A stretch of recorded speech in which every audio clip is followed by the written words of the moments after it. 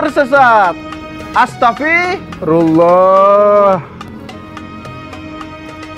Kembali lagi di konten Pemuda Tersesat bersama saya Tretan Muslim dan The Real Protector Armor level 3 The Confused Man.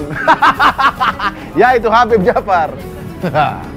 Ya kan? Kenapa saya menyebut dia adalah The Confused Man? Orang pusing. Karena dia selalu Gue masih penasaran kenapa sama Ya, udah dua, pi- dua episode masih penasaran Enggak maksudnya ini kalau kita cari. ininya ininya Ya. lebih gede oke lah. Ya. Tapi ini kok lebih tinggi dari kepala saya. Enggak, ini kan kalau nggak percaya kalian di Tokopedia di mana itu searchnya kursi Syahrini, Beb. ini Beb, bener sih bener nih, kursi Syahrini. Kursi Raja Singa. Hah? Raja Singa nama penyakit, Bro. Raja, raja singa. Itu sih. Oh, Ya, ini tapi. Raja Singa. Waduh. Kan biasa aja kan kontennya kursi. Ya tapi jangan ke kursi Raja Singa. Kursi raja. Kursi raja. Iya, kursi raja ada kepala singa. Kan kursi Raja Singa. Iya makanya. Ah, bengkak ente nanti ya kan. Padahal justru eh, Nabi itu ketika Fathu Mekah Langsung bawa-bawa. kan kata eh, apa kata Abu Sofyan sang raja masuk ke Mekah artinya Hmm. mau menguasai Mekah. Ya. Kata Nabi saya bukan raja. Hmm. Tapi saya seorang nabi yang diutus dengan cinta kasih. Kemudian Abu Sufyan bilang, "Hada yaumul malhamah." Ini hari balas dendam karena Nabi kan diusir dari Mekah tuh. Ya. Kemudian kata Nabi, "Enggak, ini yaumul marhamah." Apa itu?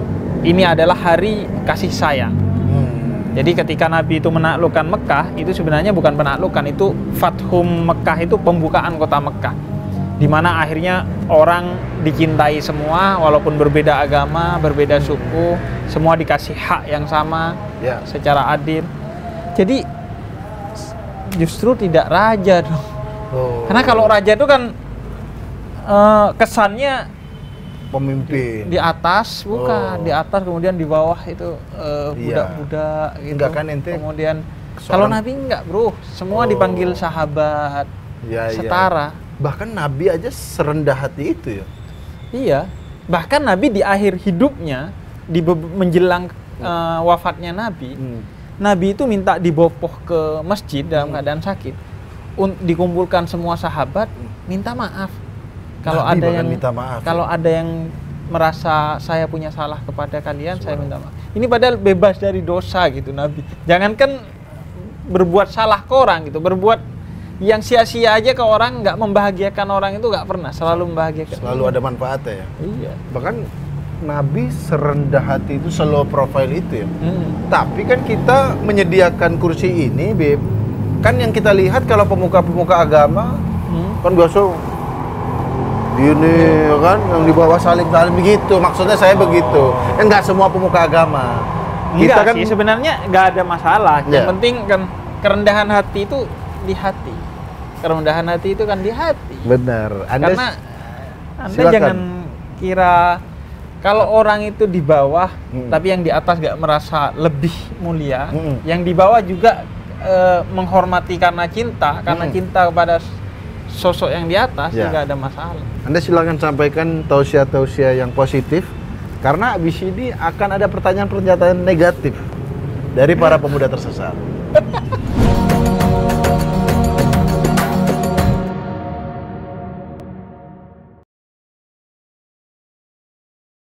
Nah, oke Beb. Langsung aja sudah siap ente untuk menjawab pertanyaan-pertanyaan dari pemuda tersesat Insya Allah. yang sudah terangkum dari kemarin ya. Pertanyaan pertama. Ini dari namanya aja udah brengsek nih. Nama akunnya ya. Hmm. Bangsat. Aduh. Dari namanya. Anda nama adalah doa, Iya. doanya. Masalahnya dia doain Iya. bangsat underscore Ria. Dia Anda nanya, kalau nggak ada milih pemimpin dari mana? makanya kenapa dikatain? Apakah karena pilihan anda kalah? Pertanyaan ini, Bang Tretan dan Habib mau nanya dong, siapa tahu bakal ada kultum pemuda tersesat lagi. Adik saya sebelum nonton video-video kultum jarang sekali sholat lima waktu. Tapi setelah mendengarkan Habib, Alhamdulillah kembali lagi sholat lima waktu. Alhamdulillah. Berarti bermanfaat kan? Ada manfaatnya juga ya. Mungkin kalian Iya. kita kira kita nyebarkan wah pertanyaan-pertanyaan gelap. Aneh-aneh. Padahal itu real Real dan kemudian orang walaupun nontonnya Ketawa buat mungkin, iya. ketawa tapi, Tapi ada man- ada manfaatnya ya? Manfaatnya. Jadi dia adiknya setelah nonton kultum pemerintah dia kembali sholat lima rakaat. Iya. Eh sholat lima waktu. Tapi sholat lima waktu yang lain. Enggak itu namanya doang. Ini adiknya yang sholat. Oh adiknya adiknya. pantesan. Pantesan kalau yang nanya dari nama bangsat kemungkinan anda nggak tahu sholat apa enggak ya. Nah tapi nggak sampai di situ. Permasalahannya ini dia. Adik saya setiap sholat lima waktu dia mandi dulu bang. Sebelum subuh dia mandi, sebelum zuhur dia mandi dan seterusnya. Bagus dong sebelum sholat mandi. Ya kan? Maksudnya mandi apa? Nah, ini dia. Dan saya sempat dengar dia membacakan niat mandi wajib. Jadi dia sebelum sholat mandi wajib dulu. Apakah boleh bang seperti itu? Setiap sholat mandi wajib dulu. Kalau namanya orang mandi wajib kan pasti habis. Ya kan?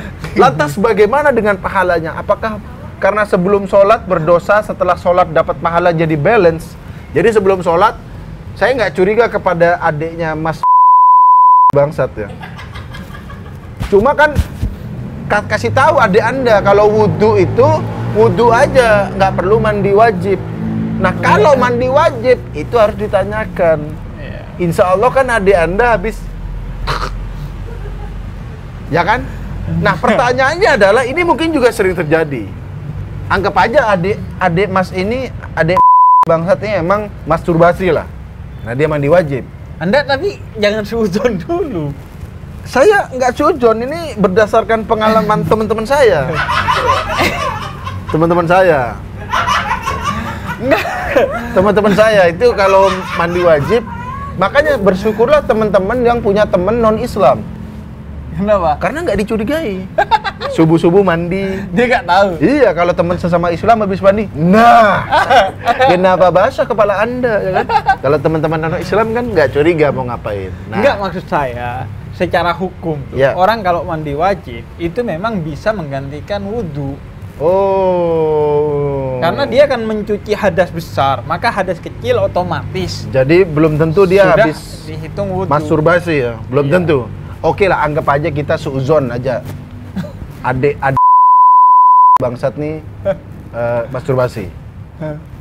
Nah, gimana tuh? Ada orang yang mau sholat, tapi berbuat dosa dulu. Apakah itu mengurangi pahala sholat?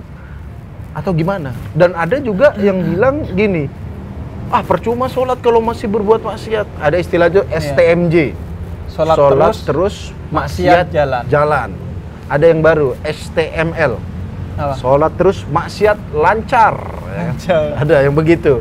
Gimana tuh hukumnya, Bib? Mungkin ada hubungannya. Orang yang sholat tapi masih berbuat dosa. Ada pendapat bilang, yang percuma sholat kalau kamu masih berbuat dosa. Gimana tuh? Bib? iya makanya dia ini kalau versi suudon berarti STMJ sholat terus masturbasi jalan Sholat terus, masturbasi jalan. Wah. Kalau versinya dia, ya, ya. Iya, Tapi jadi- gimana tuh? iya sebenarnya kan sholat itu idealnya Hmm. menjauhkan kita dari segala keburukan Hmm. Ya. Jadi justru seharusnya kita menjadikan sholat sebagai alat untuk mengusir segala keburukan. Karena sholat itu kan Hmm. mendekatkan diri kepada Allah. Hmm. Nah kalau kita dekat kepada Allah pasti jauh dari hal-hal yang seperti itu. Hmm. Tapi memang kadang kualitas sholat kita itu tidak ideal begitu. Hmm. Ya. Kita semua lah kualitas Ya. sholatnya itu eh, nggak seideal itu. Ya. Sehingga hanya menjalankan kuali, eh, Kewajiban sholat ya. masih sebagai kewajiban. Ya, ya, ya. Nah, apakah kemudian eh, nggak perlu melaksanakan sholat Hmm. karena Karena masih maksiat. masih maksiat? Ya enggak lah. Sholat itu selain aspeknya untuk menjauhkan kita dari keburukan, Hmm. Juga aspeknya adalah ibadah kepada Allah. Hmm. Itu kewajiban kita kepada Allah. Itu yang Oke. pertama. Yang Ya. kedua, kalau anda sholat saja masih melakukan keburukan. Hmm. Apalagi kalau anda nanti tinggalkan sholatnya. Iya benar juga ya. Kalau ada teori yang bilang, ya percuma lah Anda sholat kalau masih maksiat. Sholat aja masih berbuat maksiat. Hmm. Apalagi nggak sholat bisa tambah maksiat lagi ya. Iya. Sebaliknya kalau ada enggak kok Bib, ada Hmm. yang orang nggak sholat tapi dia baik Hmm. kepada orang. Ada Nah. kan banyak orang Iya, yang nggak sholat tuh tapi kalau gitu? Te- teorinya gini, Hmm. kalau dia ke orang lain saja baik, Mm-mm. kenapa kok Allah tidak? Hmm. Haknya orang lain dia berikan, Iya. kewajiban dia kepada orang lain dia berikan, kok kewajiban dia kepada Allah dia abaikan? Hmm. Memangnya orang itu lebih penting dari Allah? Orang Jadi jadi kesimpulannya eh, bukan nggak apa-apa masturbasi ya, tapi Enggak. tidak mengurangi sholat ya justru, tidak mengurangi, Iya, justru tapi justru dengan sholat tingkatkan kualitas sholatnya biar maksiatnya hilang juga. biar maksiatnya hilang juga. Jadi anda akhirnya nggak hanya menjalankan sholat secara hukum, Ya, tapi sholat secara spiritual. oke. Jadi yang sholat bukan hanya tubuh Fisik. anda, tapi hati dan pikiran anda sholat. Sholat juga. Itu adalah jawaban untuk Mas bangsat. Aduh, kan kita kan jadi ngomong ngumpat-ngumpat terus gara-gara nama Anda ya. Iya. Tolong nama Anda yang positif dong, ya kan? Oke, semoga jadi eh, apa namanya? Jadi dan Anda tegur adiknya Anda. Soalnya kita juga belum jelas. Enggak, anda dulu jangan suudon dulu gitu. Oh. Anda pastikan. Anda dulu. sebagai kakak aja suuzon, apalagi kita yang berdiri sini. Dan lagian dia kok bisa denger doa itu? Artinya kan dia ngintilin orang mandi. Oh, oh iya juga ya. Iya kan? Dengar doa katanya. ya? Sampai Dan itu juga adiknya kok doanya sampai kedengeran keluar. Artinya apa pakai speaker? Hari ini baca doa mandi besar ya. Ya udah, tapi positifnya adalah bahwa adiknya setelah menonton pemuda tersesat katanya sholat lima waktu, Iya. ya kan? Yang harus kita highlight itunya. Oke, langsung kita pertanyaan selanjutnya.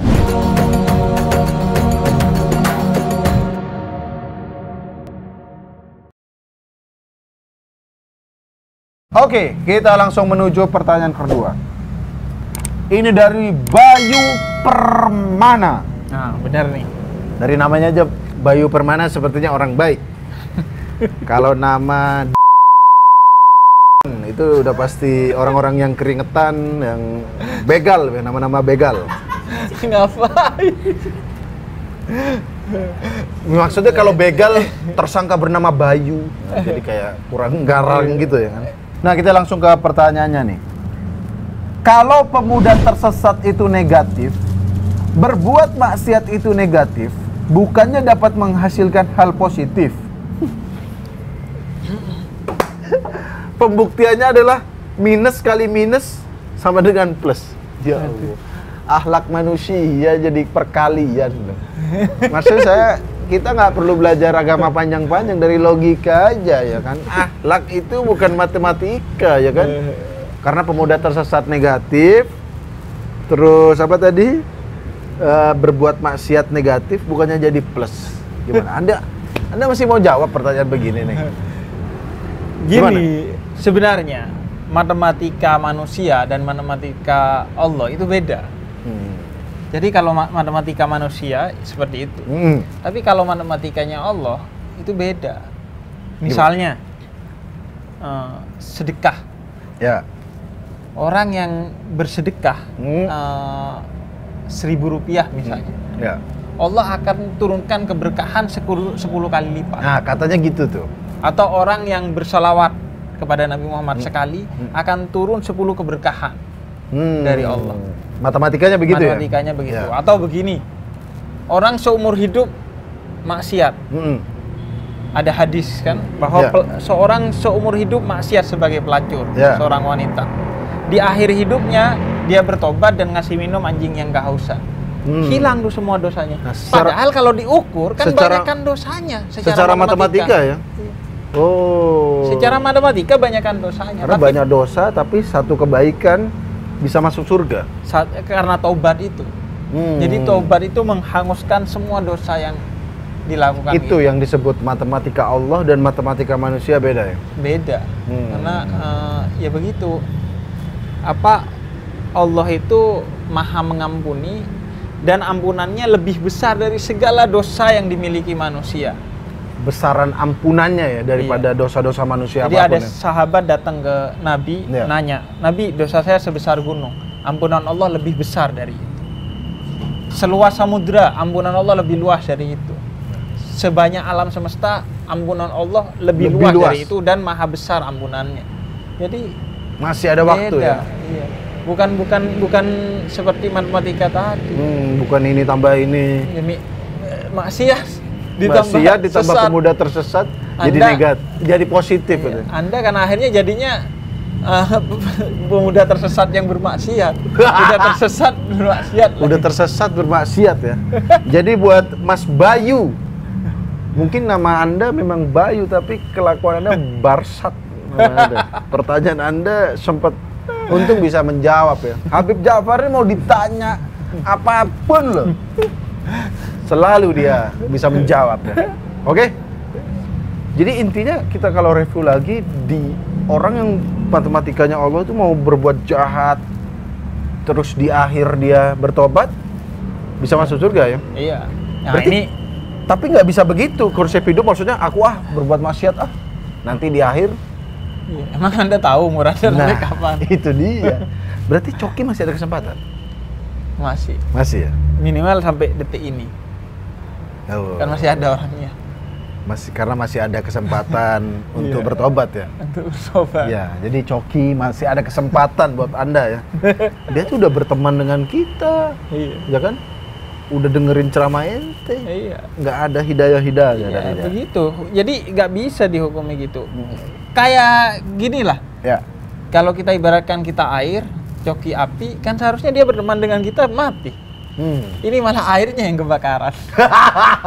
Malah kita yang ken- malah kita jadi air panas, Bro. Bukan dia yang padam ya. iya, kayak las di dalam laut tuh. Hmm. Oh iya ya. Apinya nggak mati ya. Malah airnya jadi panas. Oke, itu dia jawaban buat Mas Bayu.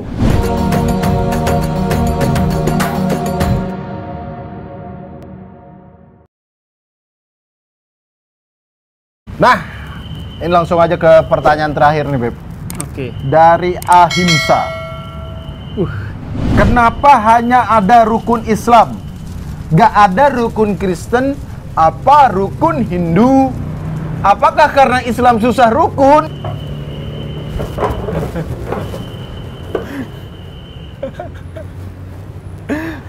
Namanya pertanyaan. Ini kan pertanyaan bukan tuduhan. Iya ya kan? Pertanyaan.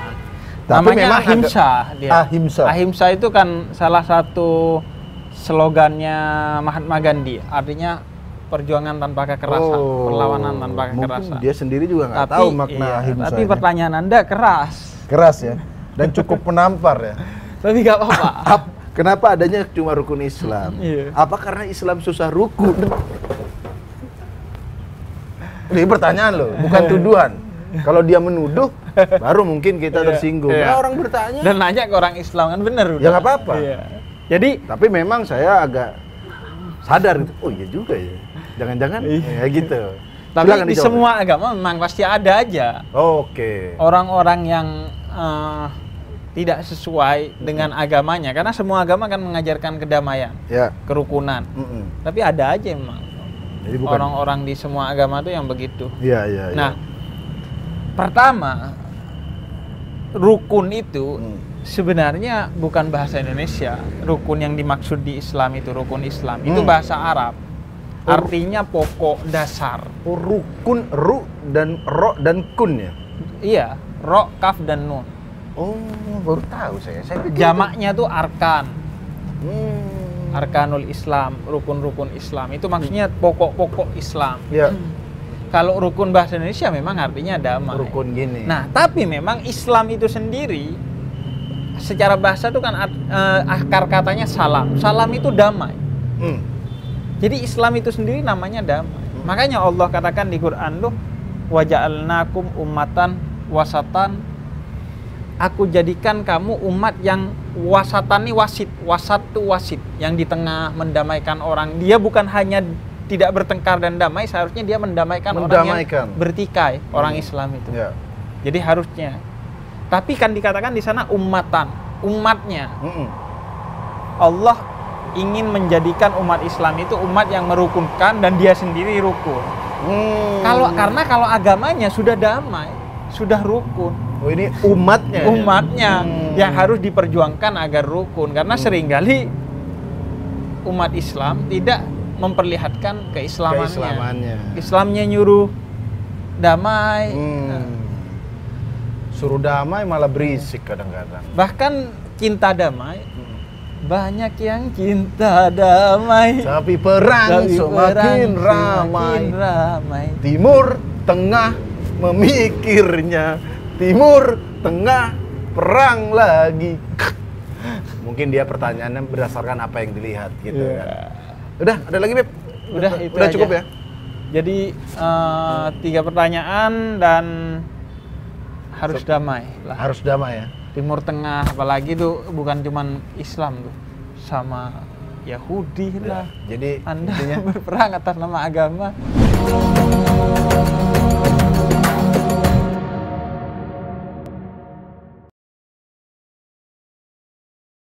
Nah, seperti biasa di akhir acara akan ada penilaian dari Ketua Yayasan Pemuda Tersesat The Real Evil 666 The leader of Sons of Dival The leader of uh, Son of David.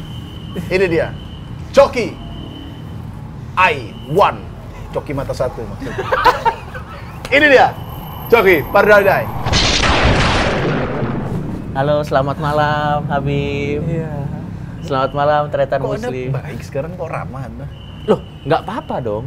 Iya, boleh Malah boleh. sebenarnya godaan terbesar itu bukan godaan yang jelas-jelas, Oh, iya. tapi godaan yang masuk dengan cara-cara yang tidak terdeteksi. Udah di, sama setannya langsung udah dikasih tahu loh teman-teman ya.